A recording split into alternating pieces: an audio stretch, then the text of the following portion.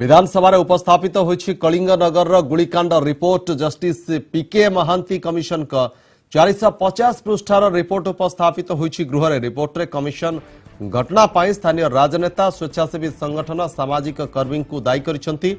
କଳିଙ୍ଗନଗର ଫାୟାରିଂରେ ମୃତ ବାର ଆଦିବାସୀଙ୍କ ହାତ ପାପୁଲି କଟାକୁ ତୀବ୍ର ନିନ୍ଦା କରିଛନ୍ତି ତଦନ୍ତ କମିଶନ ଜଷ୍ଟିସ୍ ପ୍ରଦ୍ୟୁମ୍ନ କୁମାର ମହାନ୍ତି ତେବେ କିଭଳି ଘଟିଲା ଏ ଘଟଣା କିଏ ଏଥିପାଇଁ ଦାୟୀ କାହିଁକି କଟାଗଲା ମୃତ ଆଦିବାସୀଙ୍କ ହାତ ପାପୁଲି ଜଷ୍ଟିସ୍ ମହାନ୍ତି ତାଙ୍କ ରିପୋର୍ଟରେ ଉଲ୍ଲେଖ କରିଛନ୍ତି ଗଣତନ୍ତ୍ରରେ ବିସ୍ଥାପନ ବିରୋଧରେ ଶାନ୍ତିପୂର୍ଣ୍ଣ ପ୍ରତିବାଦ କରିବାର କିଛି ଅସୁବିଧା ନାହିଁ କିନ୍ତୁ ଜାନୁଆରୀ ଦୁଇ କଳିଙ୍ଗନଗର ଗୁଳିକାଣ୍ଡ ଘଟଣା ଦିନ ଆନ୍ଦୋଳନକୁ ହାଇଜାକ୍ କରିଥିଲେ କିଛି ନ୍ୟସ୍ତ ସ୍ୱାର୍ଥ ଗୋଷ୍ଠୀ ଯେଉଁଭଳି ଭାବେ ଏ ଘଟଣା ଘଟିଲା ସେଥିପାଇଁ ସ୍ଥାନୀୟ ରାଜନେତା ସ୍ୱେଚ୍ଛାସେବୀ ସଂଗଠନ ସାମାଜିକ କର୍ମୀଙ୍କୁ ଦାୟୀ କରିଛନ୍ତି କମିଶନ ଜାନୁଆରୀ ଦୁଇ ଦୁଇ ହଜାର ଛଅରେ ଘଟିଥିଲା ଏହି ଅଭାବନୀୟ ଘଟଣା। ଯାଜପୁର କଳିଙ୍ଗନଗର ଶିଳ୍ପାଞ୍ଚଳ ପାଇଁ ସ୍ଥାନୀୟ ଆଦିବାସୀଙ୍କ ଆନ୍ଦୋଳନ ବେଳେ ଘଟିଥିଲା ତୁମୁଳ କାଣ୍ଡ ମୁହାଁମୁହିଁ ହୋଇଥିଲେ ପୁଲିସ ଓ ଆନ୍ଦୋଳନକାରୀ। ପୁଲିସ ଗୁଳିରେ ଟଳି ପଡ଼ିଥିଲେ ତେର ଆଦିବାସୀ। ଜଣେ ପୁଲିସ ହାବିଲଦାର ମଧ୍ୟ ପ୍ରାଣ ହରାଇଥିଲେ। ସେଦିନ ଥିଲା ଦୁଇ ଜାନୁଆରୀ ଦୁଇ ହଜାର ଛଅ। ଯାଜପୁର କଳିଙ୍ଗନଗରରେ ଟାଟା ଷ୍ଟିଲ୍ ପ୍ରକଳ୍ପ ପାଇଁ ଜମି ଅଧିଗ୍ରହଣକୁ ବିରୋଧ କରି ଆନ୍ଦୋଳନ ଚଳାଇଥିବା ଲୋକଙ୍କ ଉପରକୁ ଗୁଳି ଚଳାଇଥିଲା ପୁଲିସ। ପ୍ରକଳ୍ପ ପାଇଁ ଜମି ଅଧିଗ୍ରହଣକୁ ଦୀର୍ଘ ଦିନ ହେଲା ବିରୋଧ କରି ଆସୁଥିଲେ ଅଞ୍ଚଳବାସୀ ଘଟଣା ଦିନ ଚମ୍ପା କୋଇଲା ଗାଁ ନିକଟରେ ଚାନ୍ଦିଆ ଗୋବରଘାଟି କଳାମାଟିଆ ସମେତ ଆଖପାଖ ଗାଁର ତିନିଶହରୁ ଅଧିକ ଆଦିବାସୀ ଏକାଠି ହୋଇଥିଲେ ବିରୋଧକୁ ପ୍ରତିହତ କରିବା ପାଇଁ ଘଟଣା ଦିନ ମୁତୟନ ହୋଇଥିଲେ ଦଶ ପ୍ଲାଟୁନ୍ ଓଏସ୍ଏପି ଓ ଏପିଆର ଫୋର୍ସ କାମ ବନ୍ଦ କରିବାକୁ ମାଡ଼ି ଆସୁଥିବା ଆଦିବାସୀଙ୍କ ଉପରକୁ ପୁଲିସ ପ୍ରଥମେ ଟିୟର ଗ୍ୟାସ୍ ଓ ରବର ବୁଲେଟ୍ ପ୍ରୟୋଗ କରିଥିଲା ତାପରେ ଆଦିବାସୀମାନେ ଟେକା ପଥର ମାଡ଼ କରିବା ସହ ତୀର ଚଳାଇଥିଲେ ତୀବ୍ର ହୋଇଥିଲା ଆଦିବାସୀ ଓ ପୁଲିସ ସଂଘର୍ଷ ଆଉ ପୁଲିସ ଚଳାଇଥିଲା ଆଖି ବୁଜା ଗୁଳି ଯେଉଁଥିରେ ଘଟଣାସ୍ଥଳରେ ଟଳି ପଡ଼ିଥିଲେ ବାର ଜଣ ଆନ୍ଦୋଳନକାରୀ ଆହତ ହୋଇଥିବା ଆଉ ଜଣଙ୍କର ପରେ ଚିକିତ୍ସାଧୀନ ଅବସ୍ଥାରେ ମୃତ୍ୟୁ ହୋଇଥିଲା। ପ୍ରାଣ ହରାଇଥିବା ପାଞ୍ଚ ଜଣ ଆଦିବାସୀଙ୍କର ମୃତଦେହ ବ୍ୟବଚ୍ଛେଦ ବେଳେ ସେମାନଙ୍କ ହାତ ପାପୁଲି କାଟି ରଖାଯାଇଥିଲା। ଏ ଘଟଣା ନେଇ ସାରା ଦେଶରେ ସୃଷ୍ଟି ହୋଇଥିଲା ଆଲୋଡ଼ନ। ପୁଲିସର କାର୍ଯ୍ୟାନୁଷ୍ଠାନକୁ ନିନ୍ଦା କରାଯାଇଥିଲା। ମାମଲାର ତଦନ୍ତ ପାଇଁ ଜଷ୍ଟିସ୍ ପ୍ରଦ୍ୟୁମ୍ନ ମହାନ୍ତିଙ୍କ ନେତୃତ୍ୱରେ କମିଶନ ଗଠନ କରିଥିଲେ ରାଜ୍ୟ ସରକାର। ନଅ ବର୍ଷ ପରେ ଦୁଇ ହଜାର ପନ୍ଦର ଜୁଲାଇ ତିନି ତାରିଖରେ ସରକାରଙ୍କୁ ରିପୋର୍ଟ ଦେଇଥିଲେ ତଦନ୍ତ କମିଶନ।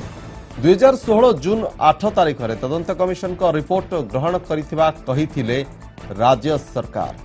ସୂଚନା ପାଇଁ ବିଧାନସଭା ପରିସରରୁ ଯୋଡ଼ି ହୋଇଛନ୍ତି ଆମ ପ୍ରତିନିଧି ଦୁର୍ଗା ପ୍ରସାଦ ଷଡ଼ଙ୍ଗୀ। ଦୁର୍ଗା ପ୍ରସାଦ ପାଖାପାଖି ବାର ବର୍ଷ ପରେ ଉପସ୍ଥାପିତ ହୋଇଛି କଳିଙ୍ଗନଗର ଗୁଳିକାଣ୍ଡ ଘଟଣାର ରିପୋର୍ଟ ତ ଯେଉଁଭଳି ଭାବରେ କୁହାଯାଇଛି ଯେ ସ୍ଥାନୀୟ ରାଜନେତା ସ୍ୱେଚ୍ଛାସେବୀ ସଂଗଠନ ଏବଂ ସାମାଜିକ କର୍ମୀ ଦାୟୀ ତ ନିର୍ଦ୍ଦିଷ୍ଟ ଭାବରେ କାହା ନାଁ ନିଆଯାଇଛି କି କୋଉମାନେ ଏ ଘଟଣା ପାଇଁ ଦାୟୀ କୋଉମାନେ ସେଠି ପ୍ରୋଭୋକ୍ କରିଥିଲେ ଆନ୍ଦୋଳନକାରୀଙ୍କୁ ଯୋଉଥିପାଇଁ କି ଏ ଗୁଳିକାଣ୍ଡ ଘଟଣା ଘଟିଲା।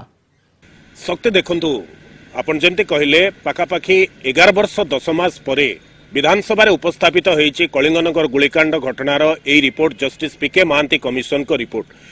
ପାଖାପାଖି ଚାରିଶହ ପଚାଶ ପୃଷ୍ଠାର ଏଇ ଯୋଉ ରିପୋର୍ଟରେ ନିର୍ଦ୍ଦିଷ୍ଟ ଭାବେ ଯୋଉ ପ୍ରଶ୍ନ ଆପଣ କରିଛନ୍ତି ସ୍ଥାନୀୟ ରାଜନେତା ଦାୟୀ ଭେଷ୍ଟେଡ୍ ଇଣ୍ଟରେଷ୍ଟ କଥା ମଧ୍ୟ କମିଶନ କହିଛନ୍ତି ଏବଂ ଭେଷ୍ଟେଡ୍ ଇଣ୍ଟରେଷ୍ଟରେ ରଖିକିରି ଯୋଉ ପିସଫୁଲ ପ୍ରୋଟେଷ୍ଟ ବା ଯୋଉ ବିସ୍ଥାପିତ ମାନଙ୍କର ଆନ୍ଦୋଳନକୁ ଗଣତନ୍ତ୍ରରେ ଯୋଉଭଳି ପ୍ରକାର କରାଯାଏ ତାକୁ ସେଦିନ ଅର୍ଥାତ୍ ଜାନୁଆରୀ ଦୁଇ ତାରିଖ ଦିନ ଏଭଳି ପ୍ରକାରର ଅବସ୍ଥାକୁ ତାଙ୍କୁ ଉସ୍କା ଯାଇଥିଲା ବା ପ୍ରୋଭୋକିଂ କରାଯାଇଥିଲା ଯୋଉଭଳି ପ୍ରକାର ଏଭଳି ଅଭାବନୀୟ ଘଟଣା ବା ଗୁଳିକାଣ୍ଡ ଘଟଣା ମଧ୍ୟ ସାମ୍ନାକୁ ଆସିଥିଲା। କମିଶନ ଏ ମଧ୍ୟ ତାଙ୍କ ରିପୋର୍ଟରେ କହିଛନ୍ତି।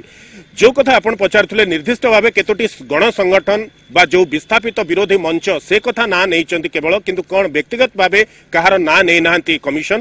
କିନ୍ତୁ ଏହା ଏ କଥା ମଧ୍ୟ ସତ ଯୋଉ ପ୍ରସଙ୍ଗ ଏହି ଘଟଣାକୁ ନେଇ ଆଲୋଡ଼ନ ସୃଷ୍ଟି କରିଥିଲା କମିଶନ ସ୍ପଷ୍ଟ ଭାବେ ପୁଲିସର ଭୂମିକାକୁ ନେଇ ସେଭଳି କୌଣସି ଟିପ୍ପଣୀ ଦେଇନାହାନ୍ତି। ଏ କମିଶନଙ୍କ ରିପୋର୍ଟରୁ ସ୍ପଷ୍ଟ ବାରି ହେଇ ପଡୁଛି।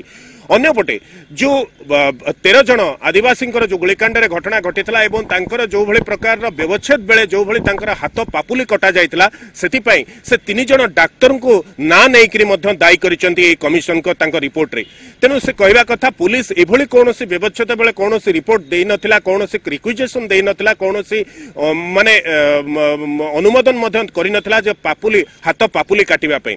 ତେଣୁ ଯୋଉ କମିଶନଙ୍କର ରିପୋର୍ଟ ଆସିଛି ସେ ନିଶ୍ଚିତ ଭାବେ ଗୋଟେ ପ୍ରକାର प्रकार जो सरकार एक्शन टेकन रिपोर्ट रे जो कार्यानुष्ठान रिपोर्ट रे मध्य सरकार दर्शाई कमिशन जहा जहा सुपारिश करते अर्थात कमिशन सुपारिश करते जो विस्थापित होती से परिवार को जणंकु परिवार रे जणंकु कलिगनगर शिल्पांचल जे जो बेनिफिशियरी कंपनी अच्छा जो पई विस्थापित हेले बारश चौतीस पर जन को गोटे लेखे चाकरी दि जाऊ बोली तो सरकार कहते कार्यानुष्ठान रिपोर्ट रे सेमानकु समस्त को जणंकु चाकरी दि जाई पर ଜଣଙ୍କୁ ଚାକିରି ଦିଆଯାଇ ସାରିଛି ଅନ୍ୟପଟେ ମଧ୍ୟ କମିଶନ କହିଥିଲେ ଯେ ସତେଇଶ ଜଣ ସିଭିଲିଆନ ଗୁରୁତର ମଧ୍ୟ ଇଞ୍ଜୁର୍ଡ ହେଇଥିଲେ ଆହତ ହେଇଥିଲେ ଘଟଣାରେ ଗୁଳିକାଣ୍ଡ ଘଟଣାରେ।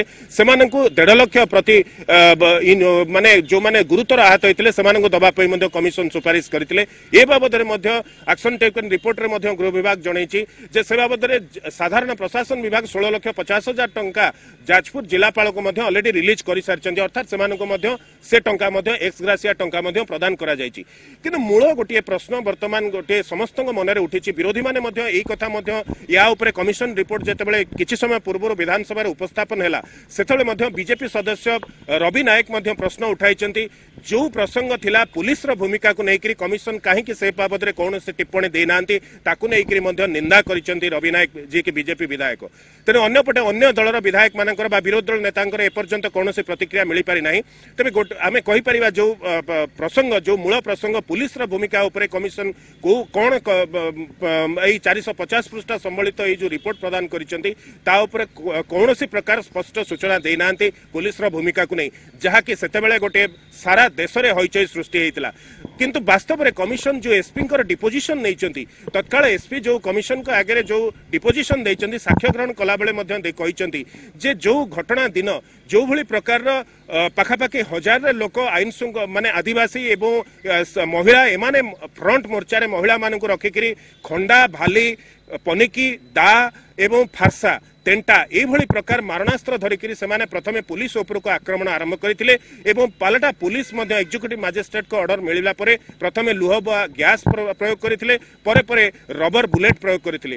ପରିସ୍ଥିତି ଯେତେବେଳେ ଅଣାୟତ ହେଲା ଏବଂ ପୁଲିସ ମାନଙ୍କୁ ଆସଲ୍ଟ ବା ପୁଲିସ ମାନଙ୍କୁ ମଧ୍ୟ ଆହତ ପହଞ୍ଚେଇଲେ ଏବଂ ପୁଲିସ ମାନଙ୍କୁ ମଧ୍ୟ ନିର୍ମମ ମାନେ ମାରିଦେବା ପାଇଁ ମଧ୍ୟ ଯେଭଳି ପ୍ରକାର ଉଦ୍ୟମ କରାଗଲା ତାପରେ ଯାଇ ପୁଲିସ ଗୁଳି ଚାଳନା କରିଥିଲା। ତେଣୁ ଏହାକୁ ନେଇକରି ପାଖାପାଖି ଅଠସ୍ତରୀ ଜଣଙ୍କର ସାକ୍ଷ୍ୟ ଗ୍ରହଣ କରିଛନ୍ତି ଜଷ୍ଟିସ ପିକେ ମହାନ୍ତି କମିଶନ ଏବଂ ସାକ୍ଷ୍ୟ ଗ୍ରହଣ ପରେ ଯୋଉ ରିପୋର୍ଟ ପ୍ରଦାନ କରିଛନ୍ତି ସେ ରିପୋର୍ଟରେ ମଧ୍ୟ ସ୍ପଷ୍ଟ ଉଲ୍ଲେଖ କରିଛନ୍ତି ଯେ ହଜାରେ ଏଗାରଟି ପରିବାର କଳିଙ୍ଗନଗର ଶିଳ୍ପାଞ୍ଚଳରେ ଯୋଉ ତିନୋଟି ରିହାବିଲିଟେସନ ସେଣ୍ଟର କରାଯାଇଛି ସେ ରିହାବିଲିଟେସନ ସେଣ୍ଟରରେ ହଜାରେ ଏଗାରଟି ପରିବାରଙ୍କୁ ଥଇଥାନ କରାଯାଇଛି। ବାକି ଅନ୍ୟ ଜଣ ଦୁଇଶହ ଅଣସ୍ତରୀ ଜଣ ସେମାନେ ଚାକିରି ପାଇଛନ୍ତି ଏବଂ ଶହେ ସତୁରି ଜଣ ଚାକିରି କରିବାକୁ ମନା କରିବା ପରେ ତାଙ୍କୁ କମ୍ପେନସେସନ କମ୍ପାନୀ ତରଫରୁ ମଧ୍ୟ ଦିଆଯାଇଛି। ତେଣୁ ଏ ସବୁ କଥା ଗୁଡାକୁ ଉଲ୍ଲେଖ କରିଛନ୍ତି ଏବଂ ଏହା ସହିତ ମଧ୍ୟ ସରକାରଙ୍କୁ ସୁପାରିଶ କରିଛନ୍ତି ତାଙ୍କର ଯୋଉ ଦୁଇ ହଜାର ଛଅ ମସିହାର ଯୋଉ ପୁନର୍ବାସ ଥଇଥାନ ପଲିସି ସରକାର କରିଛନ୍ତି ଯାହାକୁ କି ଓଡ଼ିଶା ସରକାର ସବୁବେଳେ କୁହନ୍ତି ଯେ ସାରା ଦେଶରେ ପ୍ରଥମ ରାଜ୍ୟ ଭାବେ ପୁନର୍ବାସ ଥଇଥାନ ନୀତି ଯଦି କେହି ଆଣିଥାଏ ତାହେଲେ ସେ ହେଉଛି ଓଡ଼ିଶା ଏବଂ ସମସ୍ତ ବିସ୍ଥାପିତ ମାନଙ୍କର ସବୁ ସମସ୍ୟାକୁ ଆଖି ଆଗରେ ରଖିକିରି ଏଇ ଯୋଉ ପୁନର୍ବାସ ଥଇଥାନ ନୀତିଟି ମଧ୍ୟ କରାଯାଇଛି। କିନ୍ତୁ ତାକୁ ଆହୁରି ଇମ୍ପ୍ରୁଭ କରିକିରି ଆହୁରି ଲୋକାଭିମୁଖୀ କରିବା ପାଇଁ ମଧ୍ୟ କମିଶନ ତାଙ୍କ ରିପୋର୍ଟରେ ମଧ୍ୟ ସୁପାରିଶ ସରକାରକୁ କରିଛନ୍ତି।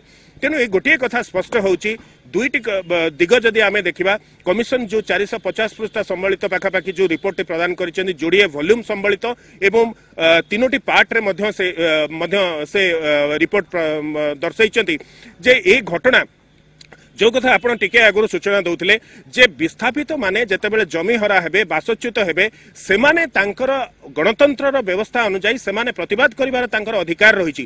କିନ୍ତୁ ଯୋଉଭଳି ପ୍ରକାରର ସମ୍ପୃକ୍ତ ଘଟଣା ଏଇ ଯୋଉ ଦୁଇ ହଜାର ଛଅର ଜାନୁଆରୀ ଦୁଇ ତାରିଖର ଘଟଣା ଯୋଉଭଳି ପ୍ରକାର ଘଟିଲା ଏଇଟା କେବଳ ବିସ୍ଥାପିତ ମାନଙ୍କ ପାଇଁ ମାନେ ତାଙ୍କ ଅନ୍ତରର ନଥିଲା ବା ସେମାନଙ୍କର ଉଦ୍ଦେଶ୍ୟ ନଥିଲା ମୋଡସ୍ ଅପରାଣ୍ଡି ସେମାନଙ୍କର ନଥିଲା ସେମାନଙ୍କୁ ଏଭଳି ପ୍ରକାରର ମାନେ ତାଙ୍କ ମନ ଭିତରେ ଗୋଟିଏ ବିଷ କରିଦିଆଯାଇଥିଲା। ଯାହା ଦ୍ୱାରା କି କିଛି ନ୍ୟସ୍ତ ସ୍ୱାର୍ଥ ଗୋଷ୍ଠୀ କିଛି ଏନଜିଓ କିଛି ରାଜନେତା ସ୍ଥାନୀୟ ରାଜନେତା ସେମାନେ ଏଭଳି ପ୍ରକାରର ଅ, ତାଙ୍କୁ ପ୍ରୋଭୋକିଂ କରେଇଥିଲେ ଯାହା ଦ୍ୱାରା କି ସେମାନେ ପୁଲିସକୁ ବା ଆଇନ ଶୃଙ୍ଖଳା ପରିସ୍ଥିତିକୁ ହାତକୁ ନେବା ପାଇଁ ଆଇନକୁ ହାତକୁ ନେବା ପାଇଁ ସେମାନେ ବାଧ୍ୟ ହୋଇଥିଲେ। ତେଣୁ ଏ ଗୋଟିଏ କଥା ଗୋଟେ ସ୍ପଷ୍ଟ ହେଉଛି ଯୋଉ ରା- ସ୍ଥାନୀୟ ରାଜନୀତି ଯୋଉଭଳି ପ୍ରକାର ବା ରାଜନେତା ମାନଙ୍କର ଚକ୍ରାନ୍ତ ଏଥିପାଇଁ ଦାୟୀ ସମ୍ପୃକ୍ତ ଦୁଇ ହଜାର ଛଅର ଜାନୁଆରୀ ଦୁଇ ତାରିଖ ଘଟଣା ପାଇଁ କମିଶନ ତାଙ୍କ ରିପୋର୍ଟରେ ସ୍ପଷ୍ଟ କରିଦେଇଛନ୍ତି ଶକ୍ତି।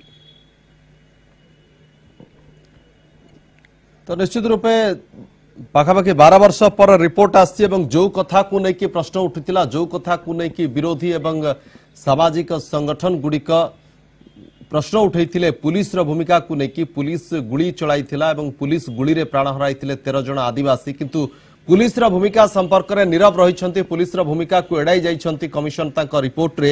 ଯାହା ଆପଣ ସୂଚନା ଦେଉଥିଲେ ତ ଏ ପ୍ରସଙ୍ଗରେ ଆପଣଙ୍କୁ କ'ଣ ଲାଗୁଛି বিরোধী যেভাবে ভাবে রিয়াকশন দিয়েছেন এবং আপনার কৌলে বিজেপি পক্ষ একু নিন্দা করা যাই বিধানসভার এ প্রসঙ্গ উঠি পারে কি আগামী দিনের নিশ্চিত ভাবে କାରଣ ଯୋଉଭଳି ପ୍ରକାରର କମିଶନଙ୍କ ରିପୋର୍ଟ ଆଜି ଯେତେବେଳେ ବିଧାନସଭାରେ ଟେବୁଲ ହେଇଛି ଶକ୍ତି ଏକଥା ମଧ୍ୟ ସତ ଯେ ବ- ବ- କମିଶନଙ୍କ ରିପୋର୍ଟକୁ ବିରୋଧୀମାନେ ତନ୍ନ ତନ୍ନ କରି ଆହୁରି ତର୍ଜମା କରିବେ। ବିଭିନ୍ନ ଗଣ ସଂଗଠନ ଅଛନ୍ତି ସିଭିଲ ସୋସାଇଟି ଅଛନ୍ତି ସେମାନେ ମଧ୍ୟ ତଦନ୍ତ କରିବେ। ଇଏ ଗୃହ ଭିତରେ ଉପସ୍ଥାପନ ହେଲା ସତ ପାଖାପାଖି ଏଗାର ବର୍ଷ ଦଶ ମାସ ପରେ ବା ଯାହା ଆପଣ କହୁଛନ୍ତି ବାର ବର୍ଷ ପରେ। କିନ୍ତୁ ଏହାର ନିଶ୍ଚିତ ଯଦି ଆମେ କହିବା ଆଗାମୀ ଦିନରେ ଇଏ ରାଜନୈତିକ ରଙ୍ଗ ନେବ ରାଜନୈତିକ ଆରୋପ ପ୍ରତ୍ୟାରୋପ ମଧ୍ୟ ଦେଖିବାକୁ ମିଳିବ ଯାହା ବିଜେପି ସଦସ୍ୟ ରବି ନାୟକ ମଧ୍ୟ ସ୍ପଷ୍ଟ କରିଦେଇଛନ୍ତି। ଇଏ ଯୋଉ ଆଦିବାସୀ ବିରୋଧୀ ସରକାର ଯୋଉଭଳି ପ୍ରକାର ଆଦିବାସୀ ମାନଙ୍କୁ ପୁଲିସ ଗୁଳିର ଶିକାର ହେବାକୁ ପଡ଼ିଲା ଏବଂ ତାଙ୍କୁ ଯୋଉ ନ୍ୟାଯ୍ୟ ହକ୍ ଦେବା ପାଇଁ ମଧ୍ୟ ଆଜି ପର୍ଯ୍ୟନ୍ତ ମଧ୍ୟ ସେମାନେ ସେମାନେ ସଂଗ୍ରାମ ଜାରି ରଖିଛନ୍ତି ତେଣୁ ଏହାକୁ ଜବାବ ଦେବାକୁ ପଡ଼ିବ। ଅର୍ଥାତ୍ ବିଜେଡି ସରକାରକୁ ଆଗାମୀ ଦିନରେ ଆଦିବାସୀମାନେ ଜବାବ ଦେବେ ପାଇଁ ଖୋଲା ମତ ଦେଇଛନ୍ତି ଖୋଲା ପ୍ରତିକ୍ରିୟା ଦେଇକରି କହିଛନ୍ତି ବିଜେପି ସଦସ୍ୟ ରବି ନାୟକ। ତେଣୁ ଏଥିରୁ ଗୋଟିଏ କଥା ସ୍ପଷ୍ଟ ହେଉଛି କମିଶନଙ୍କ ରିପୋର୍ଟ ଏ ସରକାରରେ ଅନେକ କମିଶନଙ୍କ ରିପୋର୍ଟ ଆସିଛି କିନ୍ତୁ ବହୁତ ଟେବୁଲ ହେବା ଗୃହରେ ଉପସ୍ଥାପନ ହେବା କାଁ ଭାଁ। ତେଣୁ ଆଜି ଯେହେତୁ ବିଧାନସଭାର ଶୀତ ଅଧିବେଶନ ଆଜି ପ୍ରାୟ ଆମେ କହିପାରିବା ଆଜି ଶେଷ ଦିନ କହିବାକୁ ଗଲେ ଆଉ କିଛି ସମୟ ପରେ ଏ ବିଧାନସଭା ଶୀତ ଅଧିବେଶନ ହୁଏତ ପରିସମାପ୍ତି ହେଇପାରେ। ତେଣୁ ଆଜି ଶେଷ ଦିନରେ କମିଶନଙ୍କ ରିପୋର୍ଟ ଉପସ୍ଥାପନ କରିଛନ୍ତି। ହୁଏତ ଆସନ୍ତାକାଲି ଯେହେତୁ ଆଉ ଗୃହ ନଥିବ ଗୃହରେ ଏ କଥା ଏ ପ୍ରସଙ୍ଗ ଉଠି ନପାରେ କାରଣ ଯେହେତୁ ଅନିର୍ଦ୍ଦିଷ୍ଟ କାଳ ପାଇଁ ଗୃହ ମୁଲତବୀ ହେଇଯିବ। କିନ୍ତୁ ବାହାରେ ଏ ପ୍ରସଙ୍ଗକୁ ନେଇକରି ଆଗାମୀ କିଛି ଦିନ ଧରିକରି ହୁଏତ ଆସନ୍ତା ନିର୍ବାଚନରେ ଇଏ ନିଶ୍ଚିତ ଏହାକୁ ବିରୋଧୀ ପ୍ରସ- ପ୍ରସଙ୍ଗ କରିକରି ସରକାରଙ୍କୁ ଘେରିବେ ସମାଲୋଚନା କରିବେ ଏବଂ କାଠଗଡ଼ାରେ ଠିଆ କରିବେ। ଏହା ଏବେଠୁ ଜଳ ଜଳ ହେଇ ଦିଶୁ